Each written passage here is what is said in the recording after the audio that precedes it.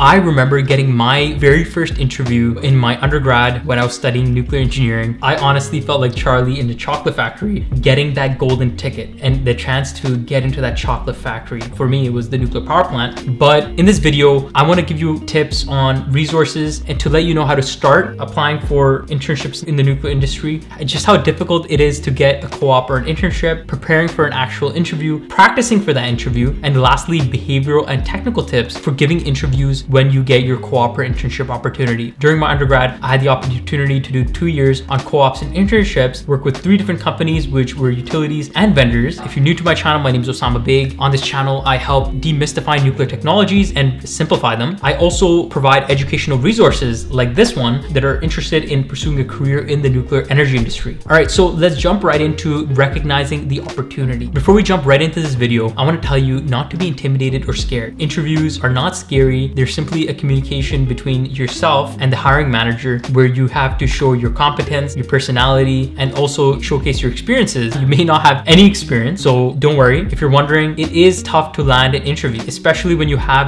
zero experiences. But what you can work on is what's under your control. Have a solid resume, cover letter, and a reasonable GPA. And you pretty much have to get all those stars aligned alongside an application which somehow goes through HR and reaches a hiring manager. Yes, it is pretty challenging to get your first one, but I promise you your opportunities that come afterward a lot easier. Just like any other industry, the nuclear energy industry is very competitive. And the first tip is to be very grateful for this opportunity and start preparing. So the second point is to actually start doing research for the interview. So when it comes to interviews, it's really based on the job description, okay? And many times when you're applying online to different different jobs or co-op placements, you may not fully remember what the job description was. And by the time you're researching for that interview, that job posting is off. It's no longer available. So what I recommend is to do things that are a lot more proactive rather than reactive. Start by developing a folder system on your computer. I have one where I have a folder which has other subfolders with all of the positions that I've ever applied for, okay? This is a historical archive of how my resumes have evolved over time. Remember, your resume isn't just one document, it's a living document. It's always being refined, it's always being edited, it's always being improved over time. So what you do is, what's a quick fix to this is take a quick screenshot and include that job posting inside your folder. So when you do get an interview opportunity, you have that reference on hand. So second of all, you take that posting, you find out what are the overlaps that I have, what experiences do I have personally, which overlap with the requirements in this posting. Also, if there are some technical things that you may not understand, start reaching out to your professors, your TAs, your contacts within the industry. Remember, in order to prepare for this interview, you need to understand the technical foundations of what you're applying for. Okay, what I love to do when conducting this research is really take detailed notes about potential questions that an interviewer could ask. And this is great because it helps me prepare. It helps me, you know, prepare one or two pages uh, full of these notes. All right, so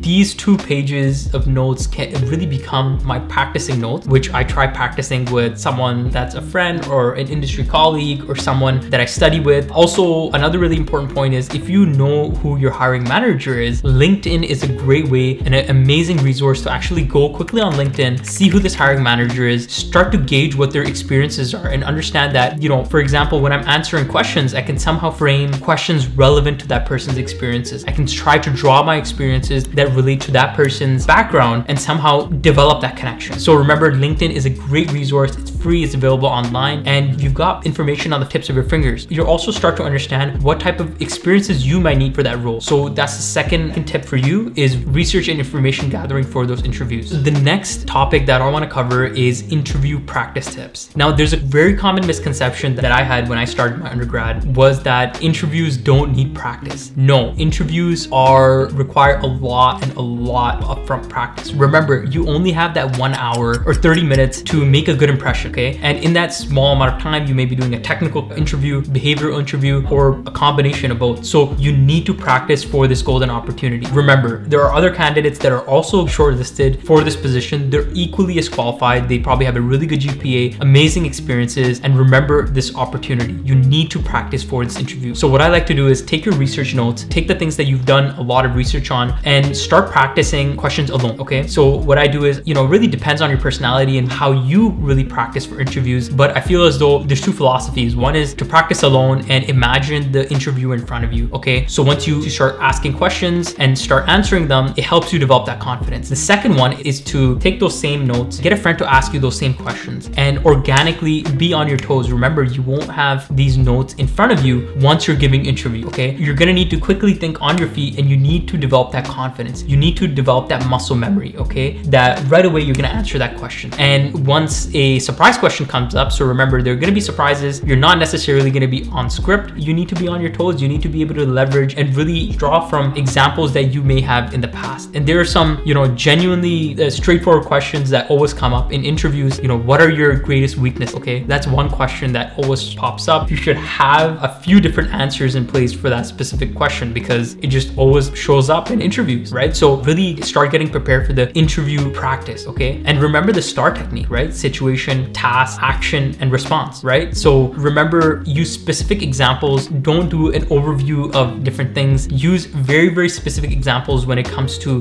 what position you were in at that time and what actions you took and what was the response that you got. So there you have it. Number three is interview practice. The last tip I have for you is behavioral interview tips. And the reason why I'm not giving technical interview tips is because honestly, the technical tips can differ from interview to interview. But overall for technical, you need to start looking back at your lecture notes. You need to start revising things. You need to start doing your own research as to what may be asked during this interview. You know, what were some things that I can do that are available on the public domain? What are some things that I can ask my colleagues and coworkers about, which may not be easily accessible information? So in regards to behavioral interviews, what's, you know, these are very important in regards to the nuclear industry and many times they are overlooked. So behavioral interviews can either be taken by HR. You know, I've seen positions where HR takes those interviews, but I've also seen positions where the hiring manager may also take uh, both the technical and the behavioral interview. Remember, engineers may do very well in the technical side, but they may forget about the behavioral side. So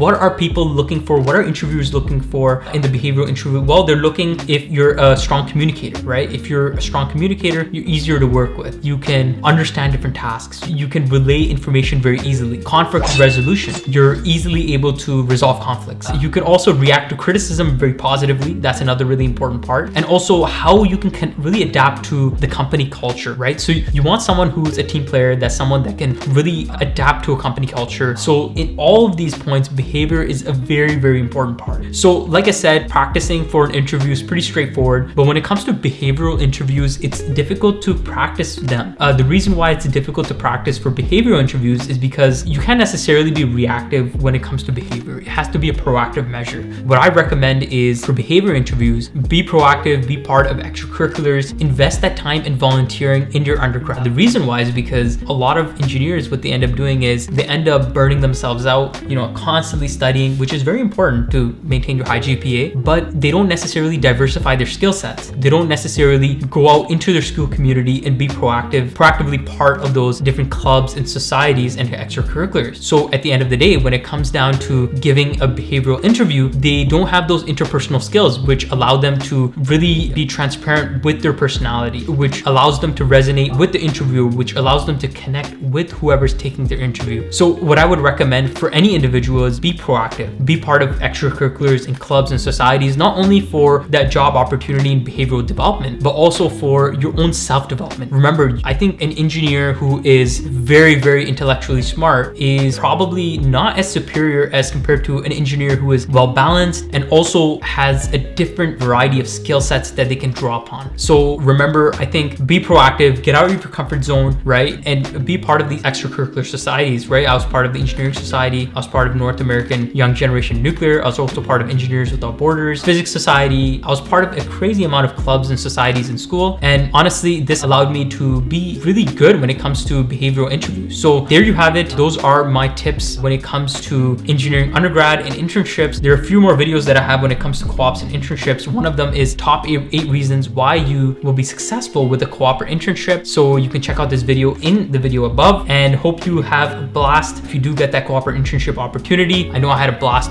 with mine. Hope this video helped and until next time, take care. Bye.